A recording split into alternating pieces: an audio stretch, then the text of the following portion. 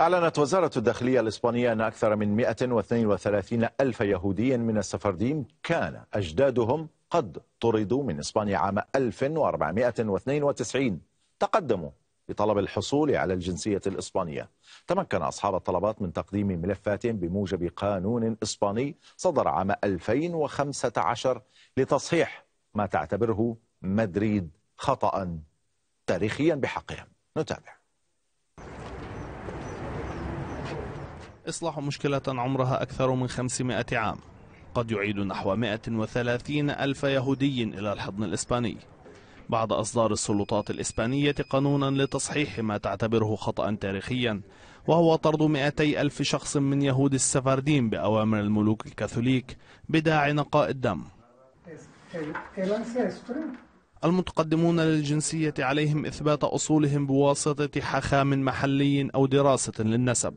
واجتياز امتحان باللغة الإسبانية.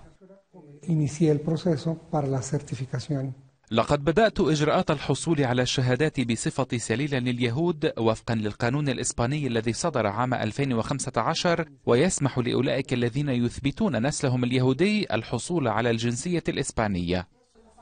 إحصاءات وزارة الداخلية الإسبانية. تشير إلى أن غالبية المتقدمين للجنسية هم من اليهود الذين هاجروا إلى دول أمريكا اللاتينية وتحديدا من فئة الشباب.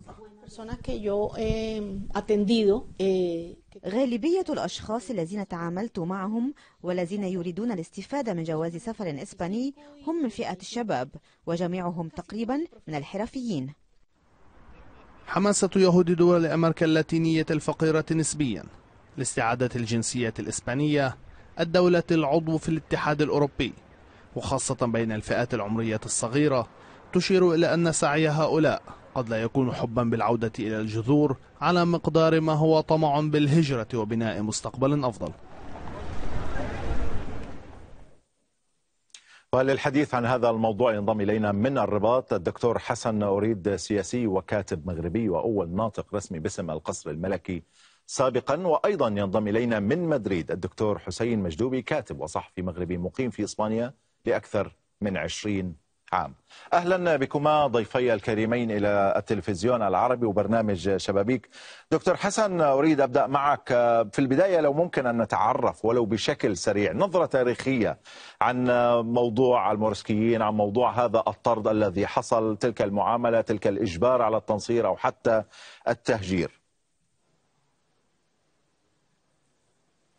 أول شيء هو بعد سقوط غرناطة سنة 1492 يعني بناء يعني كان هناك اتفاق بين الملكة إيزابيلا الكاثوليكية كاثوليكية والملك أبو عبد الله على احترام عقائد المسلمين. لكن رجال الكنيسة لم يحترموا هذا هذا المقتضى وفرضوا التنصير على المسلمين مما أجبر الكثيرين على النزوح إلى شمال إفريقيا في المغرب والجزائر وتونس. المرحلة الثانية هي التي تعتبر ثورة البوخاراس حينما فرض رجال الدين على الموريسكين أو من هم من أصول مسلمة أن يغيروا أسماءهم ويغيروا أزياءهم ويغيروا دينهم أيضا. يعني يصبحوا جزءا من من من النسيج المسيحي. فرفضوا فكانت هناك يعني ثورة البوخارس مثل ما يقال. المرحلة الثالثة هي حينما صدر قرار من الملك فيليب الثالث بطرد كل الذين هم من أصول مسلمة.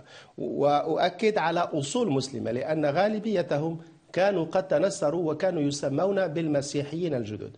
فنحن نتحدث عن ثلاثة مراحل كل مرحلة تحيل إلى ظاهرة. 1492 1568 ثم قرار التهجير 1609 طيب نشرك معنا طبعا الدكتور حسين مجدوبي. دكتور حسين أهلا بك. يعني لو ممكن أيضا نتعرف على موضوع هذا القانون دلالات هذا القانون لماذا أيضا إسبانيا حاولت منح هذا الحق لأحفاد اليهود فقط أيضا مساء الخير مساء. لك وللجمهور الكريم وكذلك للصديق الأستاذ حسن أوريد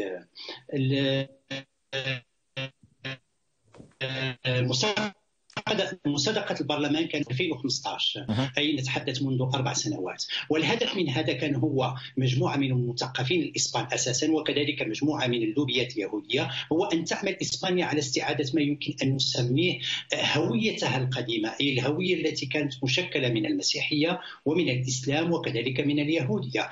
لأن لأن هؤلاء المثقفين يقولون على أن إسبانيا قد استعادت هويتها الإسلامية من خلال المهاجرين الذين يبلغون الآن حوالي مليوني آه، مسلم آه، أغلبهم هم من المغاربة حتى أن وزير الخارجية جوزيف بوريل قال منذ أشهر قليلة على أن الإسلام أصبح ركيزا من ركائز الحضارة لإسبانيا في وقتنا الراهن وكذلك آه، في أوروبا. وبالتالي فإن هناك أسباب سياسية رئيسية هو هو محاولة جلب ما يمكن أن نسميه العنصر اليهودي إلى إسبانيا وخاصة رجال الأعمال وكذلك استعادة الهوية التاريخية لإسبانيا. لكن حسين أن حسين عفوا كان كان أيوة. هناك استهزاء حتى من من من الداخل الإسباني حول عملية آه، الإعادة حول عملية هذا القانون. ومنهم من قال بأنكم سلبتوا اليهود في السابق والآن تريدون أن تعيدوهم من جديد إلى إسبانيا. هذا من جانب. من جانب آخر في محاولة إسبانيا لإعادة استعادة لو قلنا الروابط مع هذه الثقافة القديمة القديمة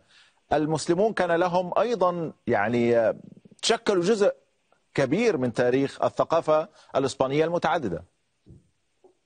ما زال المسلمون يشكلون عنصرا رئيسيا في الثقافة الإسلامية. وكما قلت على أن وزير الخارجية الإسباني جوزيف بوريل قال منذ شهور فقط على أن الإسلام أصبح عنصرا رئيسيا من الحضارة والسياسة الإسبانية في وقتنا الراهن لا ننسى على أنه يوجد الآن في إسبانيا أكثر من مليوني آه، آه، آه، مسلم أغلبهم من المغاربة. ولا ننسى على أن كانت هناك مبادرات في الماضي حول استعادة المغاربة للجنسية الإسبانية. اتذكر هنا مثلا سنة 2006 في البرلمان الأندلسي تمت المصادقة على ضرورة منح الجنسيه الاسبانيه لأحفاد الموريسكيين الذين طردوا خاصة إلى شمال إفريقيا وبالأساس المغرب الذي كان طيب. قد احتضن النسبة الكبيرة منهم في. نفس الوقت أو نعم. أي سأعود إلى هذه النقطة وأيضا و... كذلك في نفس الوقت نعم. كذلك أن سنة 2006 2007 صادقت الحكومة حكومة الحكم الذاتي في في الأندلس وهي أكبر مقاطعة إسبانيا على ان أن ما يسمى بأب الوطن الأندلسي هو بلاس إنفانتي وبلاس إنفانتي كان هو أحد المدافعين عن المغرب وكان قد اعتنق الإسلام بمعنى أن أب الوطن الأندلسي في الوقت الراهن هو بلاس إنفانتي المسلم الذي كان قد قتل إبان الحرب الأهلية سنة 1936 طيب آه نسأل الدكتور آه، حسن. دكتور حسن يعني هذه المحاولات كيف قوبلت في المغرب؟ كيف قوبلت من آه، من المورسكيين لو قلنا؟ آه، ماذا تم من خلالها؟ هل كان هناك تواصل؟ هل كان هناك آه، حتى تواصل مع الحكومة؟ كان هناك يمكن رسالة سابقة في 2000 ويمكن 2007 أو في هذا التوقيت حتى لملك المغرب عفوا لملك إسبانيا. تطالب إسبانيا طبعا بنفس الخطوة تجاه أحفاد اليهود. نفس الخطوة تجاه أحفاد المسلمين. أول شيء دعني أذكر بشيء. أعتقد بأنه من الضروري أن نستحضره وأن إسبانيا أو ملك إسبانيا السابق خوان كارلوس سبق له أن قدم اعتذارا لليهود. يعني قبل يعني صدور قانون يعني يعترف لليهود من أصول إسبانيا بالجنسية كان هناك اعتراف أو اعتذار عفوا لما حاق باليهود. وهو الأمر الذي لم يصدر بالنسبة للمسلمين وكانت هناك جمعيات مسلمة في المغرب والجزائر وتونس بالأساس يعني طالبت بالاعتذار. فهناك لحظة أعتقد من الضروري أن نستحضرها. طبعا بعد يعني صدور قرار يعني الاعتراف بالجنسية يعني عبرت جمعيات من من أحفاد أجداد الموريسكيين عن ضرورة المعاملة بالمثل. طبعا أنا في اعتقادي يعني أن المسألة ليست فقط قصرا على من يتحدرون من أصول الموريسكي أنا أنطلق من شيء أساسي هو الحقيقة التاريخية. أكيد صحيح لكن سيد حسن حتى حتى صحيفة الجارديان تحدثت وسألت وسألت أيضا أنه أنه يعني هذا الحق الحق لليهود. تساءلت أيضا إن كان أحفاد مسلمي الأندلس سيشملهم هذا القرار. هو أول شيء أعتقد بأن القضية بالنسبة لليهود المسلمين مختلفة لعدة اعتبارات أو العداد إلى آخره. والمسألة في اعتقادي تتجاوز من منظور آه، الاعتراف بالجنسية أو عدم الاعتراف أو الاعتذار. أعتقد بأن المسألة من منظوري كأستاذ لتاريخ وكمثقف هو الاعتراف بالحضارة الإسلامية. إلى الآن هناك يعني جانب من التعتيم يطال هذا رغم ربما هناك تصريحات مطمئنة لكن الواقع شيء آخر. يعني آه، هناك متاحف في إسبانيا حول محاكم التفتيش ولا إشارة واحدة لما حاق بالمورسكين وينبغي هنا أن نذكر أن حتى كلمة المورسكين هي كلمة مستقاة من الأدبيات الإسبانية وهي كلمة آه، يعني آه، قدحية يعني وهي العربي الحقير يعني. ولذلك هناك الكثير من أحفاد المورسكين يأنفون ويرفضون هذا التعبير. إلى الآن هناك نوع من تابو حول هذا الموضوع. وأنا أعتقد بأن المسألة ليست في محاكمة إسبانيا ولكن من أجل فتح جسور يعني التعاون. إسبانيا تحدثت قبل سنوات عما أسمته تحالف الحضارات. أنا أعتقد بأن المدخل الأساسي لما أسمته بتحالف الحضارات هو فتح يعني هذا الملف من بوابة آه، الموريسكين. وهذا نعم. الملف إلى الآن حسب معرفتي وتتبعي إلى الآن يعني يطاله كثير من من التعتيم يعني. صحيح وهو إلى الآن أيضا ليس هناك رد فعل. أنت أشرت إلى أن هناك مراسلات. لم يرد هناك رد من لدن المسؤولين الإسبان على ما أقدمت عليه كثير من الجمعيات من أصول موريسكية. صح ودكتور حسن هناك من يقول بانها هي حملة تهدف طبعا إلى هذا الموضوع وأيضا يعني لو لو توسع الموضوع ليشمل طبعا المسلمين آه، هنا تكمن الموضوع بأن أغلبية الإسبان يتجاهلون أصلا آه، هذه النقطة التي أشرت إليها. سأعود إليك دكتور حسن وأيضا دكتور حسين لكن مشاهدينا نذهب إلى الزميلة دانيا إرشيد التي تعطينا بعض الحقائق عن السفرديم والمورسكيين.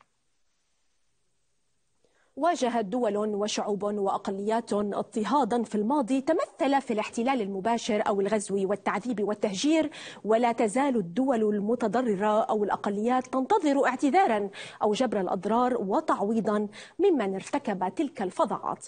أحد هذه الملفات يتعلق بماضي إسبانيا أكثر من 132 ألفا من يهود السفرديم ممن طرد أجدادهم من إسبانيا عام 1492 1990 أي في القرن الخامس عشر ميلادي تقدموا بطلب للحصول على الجنسية الإسبانية.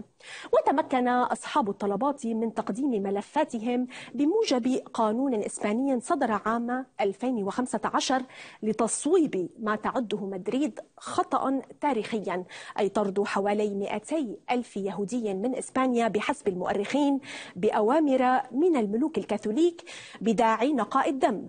ولم يحصل منهم حتى الآن على الجنسية سوى ستة آلاف. وفقا للمديرية العامة للسجلات وكتاب العدل وهي هيئة تابعة لوزارة الداخلية.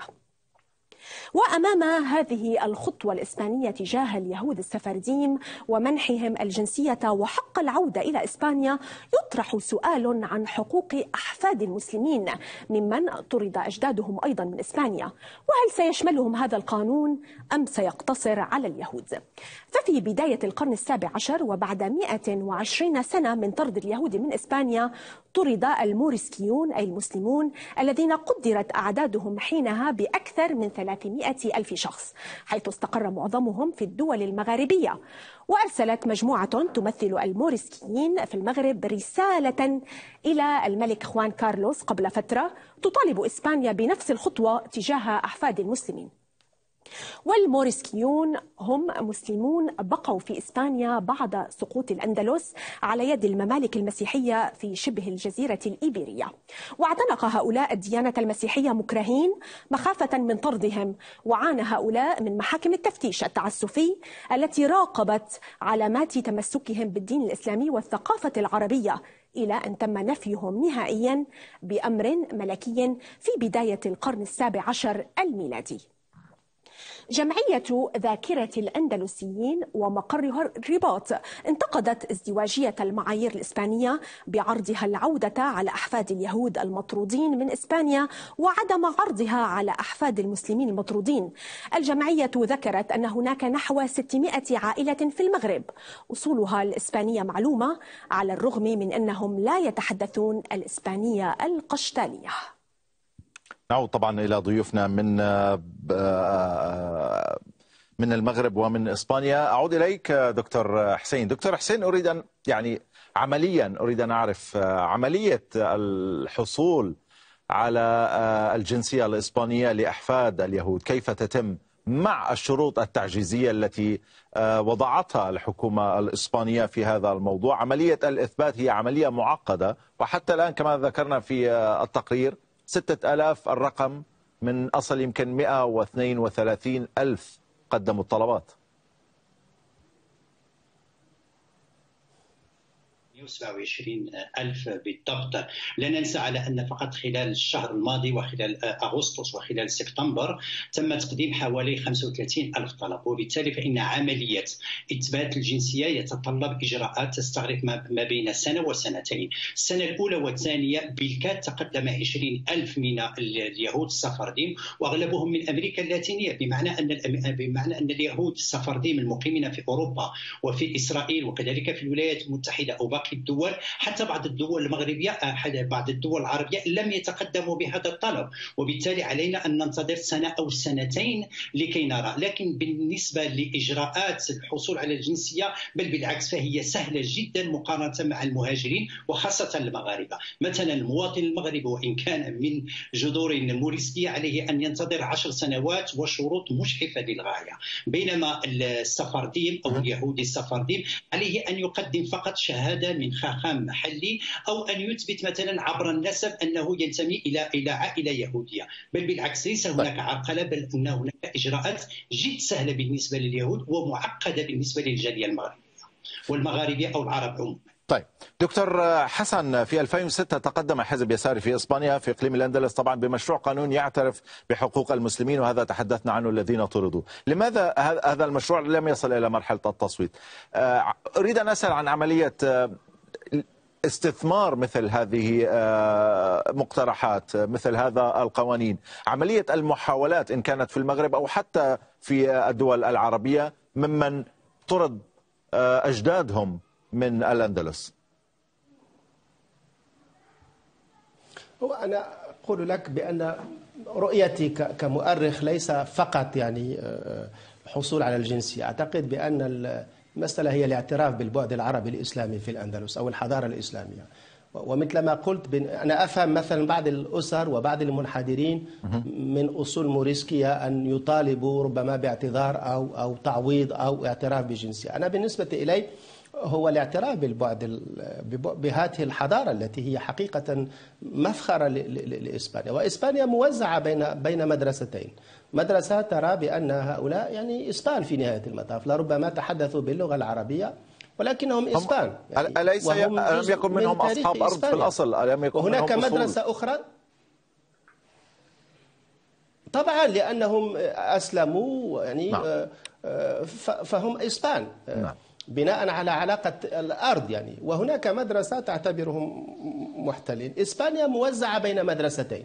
هناك الذين يعتبرون بأن ما حدث في 1492 هو انتصار. وهناك مدرسة ترى بأنها حرب أهلية. طبعا الذي يهمني هو ربط الجسور مع الذين لهم نظرة موضوعية.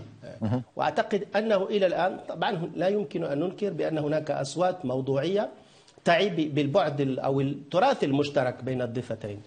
لكن هناك كذلك مخلفات يعني ترفض وتعتبر بأن الهوية الإسبانية أو هوية الأندلس أو إسبانيا عفوا تمت في مناوئة يعني الإسلام. هذا الاتجاه لا يزال قائما ويؤثر في, في الأحزاب اليمينية. لابد أنا في اعتقادي بأن القضية الموريسكية هي رمز.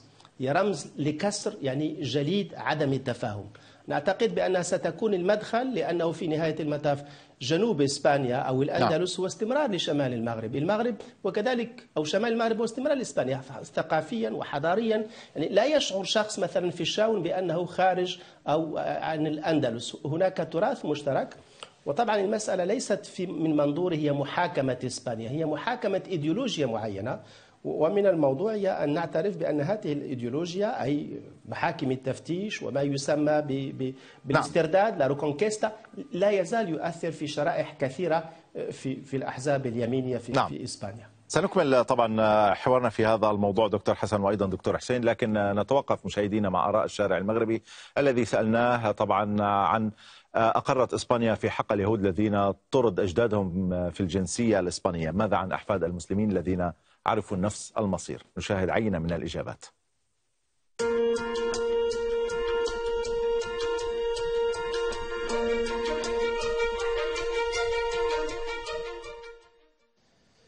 وإذا عطاو الحقوق اليهود راه من المنطق سيعطيو المغاربه حنا ما كنقولوش علاش عطاو اليهود حنا كنقولوا علاش عطاو اليهود وما عطاوش المغاربه يعني ما غنتقدوش السياسة الاسبانيه حرة تعطي لمن ما بغات. ولكن ما خصوش يكون يعني تناقض في المواقف. يا إما تعطينا اليهود عطيتها المغاربة ولا ما تعطيتها حد أنا كموريسكية وكنطالب من الحقوق ديالنا من الدولة الإسبانية اللي هي ديمقراطية عطات الحق اليهود وما عطاتناش الحق حنايا كمسلمين. أنا كواحد من شمال إفريقيا اللي هما يعني أندلسي آه، كان إسبانيا خصها تعتذر المسلمين والمركسيين بنفس الطريقة اللي اعتذروا اليهود وعطاتهم جنسية اللي جراو عليهم الاندلس هؤلاء المسلمون العادوا إلى شمال إفريقيا وعادوا إلى المغرب لهم الحق أيضا في في الاستفادة وفي الاعتراف بهم كناس أعطوا الكثير الكثير لإسبانيا في حضارتها وهم عرب فلماذا تستثنيهم؟ فهذا الاستثناء أنا أعتبره عنصري يعني يجب على المملكة الإسبانية وعلى الحكومة الإسبانية أن تراجع هذا القرار الذي هو قرار يعني لا يرقى إلى مستوى التاريخ الإسباني الذي يجمع مجموعة من الأعراق ومجموعة من الحضارات وهو كان بمثابة الوطن الأم الذي تشكلت عليه يوما ما حضارة متعددة ضمنها الحضارة الموريسكية التي من حقها ومن حق الموريسكيون إخواننا الموريسكيون الذين نزحوا إلى المغرب من حقهم ومن حق إسبانيا أن تعطيهم الاعتراف بجنسيتهم وبأحقيتهم وهذا بعد لن ينساه لها التاريخ. دكتور حسين يعني اذا الموضوع هو موضوع رمزي وموضوع معنوي بشكل سريع. هل بالإمكان الضغط على الحكومة الإسبانية لإجبارها على الاعتراف بهذا الخطأ التاريخي التي تحدثت عنه بالنسبة لليهود كما هو الحال بالنسبة لأحفاد المسلمين؟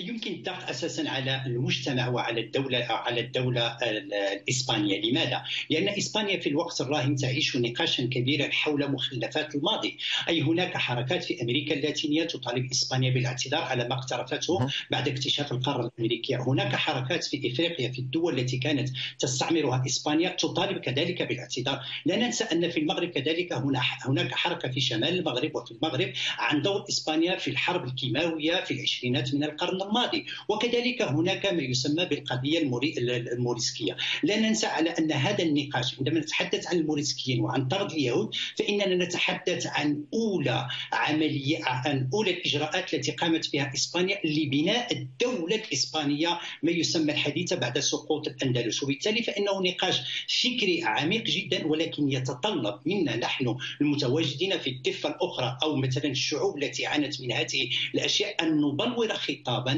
ثقافيا تاريخيا متكاملا للضغط على إسبانيا كما فعل اليهود. هناك من أمريكا اللاتينية هناك حركة متقدمة جدا يكفي على أن رئيس المكسيك الذي هو لوبيس أوبرادور منذ ثلاث أو منذ ثلاث أشهر أو أربعة أشهر وجه رسالة إلى عاهل إسبانيا الملك فيليب السادس يطالبه بالاعتذار. ونفس الشيء حدث مثلا من طرف الاكوادور ومن طرف بوليفيا ومن طرف فنزويلا. لكن نحن في مثلا في شمال إفريقيا أو في الدول العربية.